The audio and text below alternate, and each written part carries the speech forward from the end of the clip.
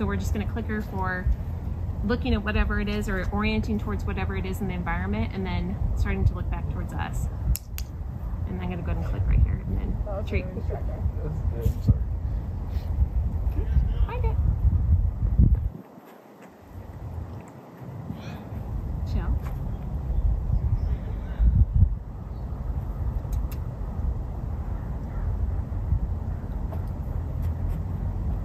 Good. That's very good. So we can use that that little bit of a prompt to get her into that down position.